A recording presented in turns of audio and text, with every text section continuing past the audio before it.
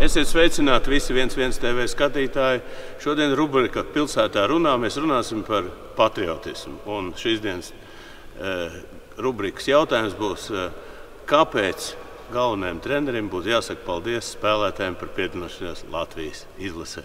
Sveiks, Rob! Sveiki, sveiki. Klausies, nu, mēs par rezultātiem nerunāsim tālāk. Tik daudz, kaut gan arī būs dažs jautājums, varbūt, kurš tev pārsteidz, kurš tev nepārsteidz. Tu izteicies ar tādu teicienu, nu, ka kāds vispār te vairāk nekad nebūs ja, no šīs izlases, vai arī, vai arī kāds būs papildinājums. Kas tev pārsteidz? Tieši labā nozīmē. Tu domā par šo Par šo turnīru, jā, nu, tomēr viņam bija kaut kāds mērķis. Jā, protams, ka bija mērķis. Un, uh, savākt sastāvu tādu, kas varētu braukt uz, uz, uz šo turnīru, bet principā bija dot iespēju jauniem spēlētājiem. Varbūt, nu, nu neteiksim, tagad stulbi varbūt runāt to, ka topu vai netopu spēlētāji no Eirolīgas un NBA spēlētājus mēs netaisījāmies aic, aicināt, Aicināt, un, jā. un Jāni Blūmu pirmkārt. Mārtiņu Meijeru arī un uh, Marek Meijeru principā. Pārējos spēlētājus mēs gribējām iesaistīt vairāk. Aicinājām uz treniņiem, bet zinājām, ka uz turnīru neņemsim. Bet to turnīru runājot to, ka mēs to uzzinājām bija vēlāk nekā sākām, un neviens nezināja, kāds formāts būs tam turnīram, vai būs skatītāji, ko, ko, kāda virzība būs Covidam. un Tāpēc viss tā Ja tu biji pārsteigts, ka vispār tas turnīrs bija labi norganizēts. jā? bija superīgi noorganizēts. Un uh, sapratām, beigās jau, kad brauc mājās, likās, ka varbūt varējām vairāk, bet mums bija vairāk spēlētāji, kas uh, bija jau sarunāts, ka viņi brauks, bet kaut kādu vairāk iemeslu pēc viņi nu, beigās neaizbrauca. Bija gan kaut kādas ma- mini-traumas, varbūt kaut kāda līguma pagriezieni savādāki un tā tālāk. Vismaz seši spēlētāji bija tādi, kas bija sarunāti, kas brauks. Nu, labi, kas tev pārsteidz tieši, nu, kurš varētu nākotnē papildināt šo sastāvu, piemēram, uz finālu?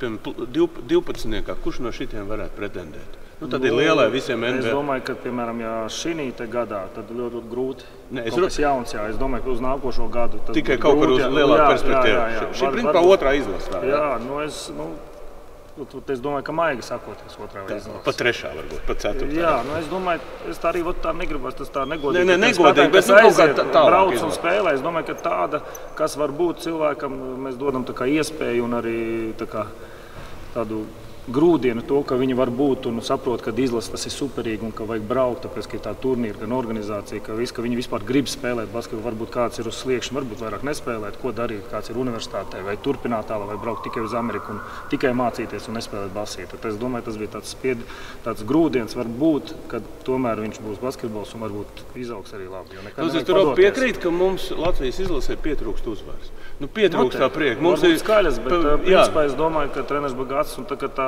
dabūjām to piekto vietu. Jā, jā, jā. jā, nu, tā nebija slikta. Tas bija nu, viena Nu, bet visi gaidīja jau gandrīz, Jā, jā, nu, gaidīja arī Sērbi gaidīja un visi gaidīja. Visi gaida. Ir uh, 12 valsts, kas gaida zeltu. Nu.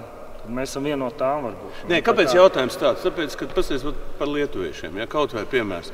Nu, viņi salasās tie veči nu, pusgads bez basketbola. Es atceros tevi, varbūt daudz neatcerās Roberts Štelmacher kā spēlētāju, bet es atceros kā treneris. Ja mums būtu rīt spēle, šodien futbols, viņš būtu spēlējis futbols, rītā spēle, parīt spēle, aizprīt spēle un visu laiku spēlē. Šobrīd tā paudze, šodien, pa ko iet runa? Iet runa Nu, ka viņi kaut nav, nav tendēti uz to rezultātu, iziet uz laukumu un vinēt. Nu, manuprāt, es, man no malas man tā liekas. Man liekas, ka tā ir tā pārāk liela rēķināšana. Vai tas, vai tas būs kā varbūt izdevīgi, vai es tur nedabūšu varbūt kādu traumu, vai tur ir noteikti ir padomdevēji. Tagad tik daudz spēlētājiem, gan aģenti, gan vecāki, visi zina, kā jāspēlē basketbolists. Viņi nāk nevis kāpāt, viņi prasa, kāda man būs loma komandā. Kā, nu, ja tu spēlēsi labi, man kā trenerim ir vislabākā loma tev komandā. Lūdzu, man nāc, spēlē, samet, un, lai mūsu komanda uzvar. Nekad nav tā, ka mēs negribam labus spēlētājus komandā. Sākt ar sarunu, kāda man būs loma, tu parādi, kāda ir tava loma. Okay, tagad es par tieši tautu. Ot Tautai uzdevam šo pašu jautājumu. Un tāds jautājums, kāpēc Latvijas basketbols nerāda spēlēt Latvijas izlasē? 40% gan 1000 cilvēku nobalsojuši. Tas diezgan liels ir. aģenti neļauj. 40% pareizi. Cilvēki domā, nu, kaut kāda viņiem ir funkcijas kopējas. Ja? To, ko tu pats jā, tagad nu, nokomentē. Otrs grib apmēram ir. Gribu patusēt, nu, šī brīvajā laikā, vasarā kaut gan pusgads bez basketbola. Otrs LBS krīt uz nerviem, un tikai 8% treneru faktors. Tā kā tev treneru tautu uzticās vēl. Jā, tas ir, ne, nu, tas ir kaut kāds formāls, bet tas ir svarīgs faktors, tas, ka, ka šeit ne, nav. Bet, uh, es arī gribētu par to, ka nu, tas patriotisms. eh, Tāds basketbols. Es atceros, kad es, biju, kad es spēlēju, vēl es spēlēju cehu mačos. Augstskolas mačos, visādos mačos gāju un spēlēju. Šobrīd viņi rēķina. Man būtu interesanti pašam aizbraukt uz to turnīru. Es esmu Eirolandes, nāk, Robis grib spēlēt. Tu man neņem? Noteikti, Ja es būtu. Eirolandes spēlētājs, pat par to ir runa. Tagad lēš faktors. Kāpēc viņi tur atbrauc? Bet tā nebija tādā sastāvā, kā viņi gribēja. Jā, bet Mēs tomēr, bet tur bija treneru. Viņi teica, ka tikai trīs spēlētāji iespējams, ka varētu būt uh, kaut kādā nākotnes sastāvā. Nu, jā, bet viņi atbrauca uzvārdu. Ir tomēr bija, un viņi tomēr ir. Bija. Nu, bet pietrūka, pēc Kaspars Bēziņš bija viens no tiem, nu, kurš izstājās, nu, tāds, saka, vēl būtu pāris spēlētāji, un tas turnīrs būs pavisam citāds. No, tieši to jau mums ir. Mums arī bija saku, seši spēlētāji, kas bija gan kā tuvākās rezerves, vēl, vēl tuvāk nekā varbūt daži no tiem, kas aizbrauca, kas varētu būt patiešām tajos logos noderīgi. Bet bija sanācis vai nu jābrauc ātrāk uz klubu, vai jādara savādākas lietas, vai nu, mini traumas, kur varbūt uh, apspriežoties. Uh, Es negribu teikt, ka aģenti kaut ko sliktu dara. Viņi mēģina sakārtot spēlētājiem Schēmot. kaut ko to, jā, bišķiņ. Varbūt mums ir, varbūt lēšiem tie spēlētāji vārdi ir tādi, ka viņi pasaka, nē, es braukšu un visu, un aģents un klubs uh, piekrīt pie tam. Mums tas, tas, tas līmenis, kas uh, taisies braukt, viņi vēl nevar diktēt, piemēram, klubam. Nē, es gribu braukt uz izlasi, un viss. Tad tie, piemēram, mums baidās piemēram, no treneru kaut ko, ka tur treneris savādāk skatīsies, ja viņš būs izlasē. Nu, mēs neesam tik spēcīgi, varbūt tādā līmenī. Nu, ka Ok. varam pateikt savu vārdu. Bet, Ok, principā, iesim- Es domāju, tas ir gan uh, sabiedrības, gan arī uh, aģentu un spēlētāju kopēji jāiet tā, ka Mēs nu, viņi ir, spiedīsim, ka viņi ir. sabiedrība Bet spiedīs, lai tie spēlētāji nāk un bet, spēlē. Bet principā ar spēlētāju pateikuši, ka būs oficiāla spēle, viņi visi būs klāti. Tā- Tāda- tāda- jā, jā, Okay, tad, tā- iesim tāda tādu, tāda tad iesim uz to februāru bišķiņu, jau tādu attālāku skatu. Kāda šodien ir situācija, uz kādu sastāvu tu ceri vispār? Februārī? Ceram, jau mēs vislabāk. Nē, nē, bet Jā, vispār, nu- kas ir Eirolandā, nekas nav mainījies. Ja? Jā, nekas tāpatās uh, būs.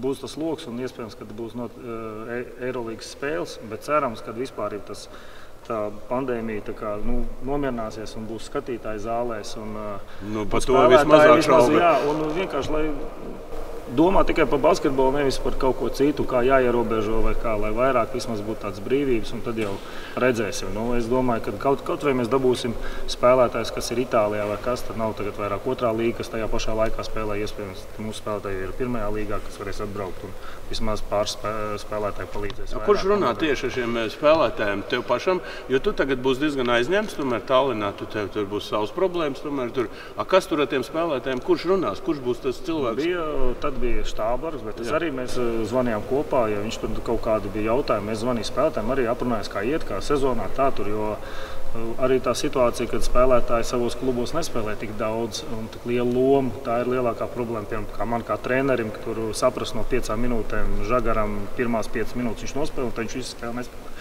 Cik viņš ir gatavs spēlēt spēlē, kur ir pēkšņi ir vislielākā atbildība. Ir.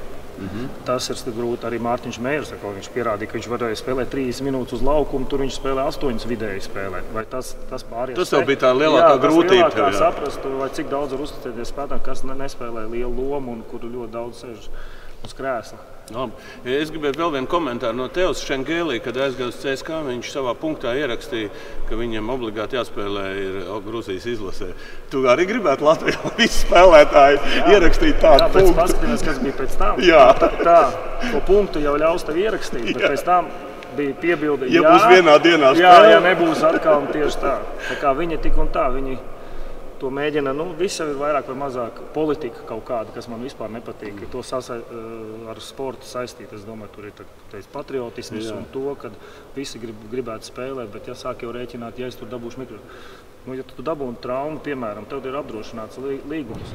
Taču savienība apdro. Tas jau nav vecie, vecie laiki, kad lauzu un neko nedēļu par Tieši to. tāpēc, jā, nu, es domāju, ka tur nav ko baidīties. un Es domāju, ka nu, tu esi, ja tu esi Latvijas valsts pilsonis. Vispār kaut kādīgi nu, tas ir savādāk. Nu, ko, Rob, paldies tev par sarunu. Es domāju, ka mums vēl tās lielās sarunas būs priekšā, tad, kad sāksies lielie mači un novēlu tev izcīnīt. Kā teikt, tās uzvaras, ko visi mēs gaidām. Jo, jo mē, visi runā par mums, ka mums ir viss, ko es esmu apjautājis. Visi jūsmo par Latvijas basketbolistiem, bet šobrīd, tas, šobrīd tā Latvijas izlase mums bišķiņi, kā teikt, ir pievīļa. Ja? Tā kā Rob, davai spēku tev, redz, arī sabiedrība tev uzticās. Lielas un paldies, veiksim. Lielas paldies visiem!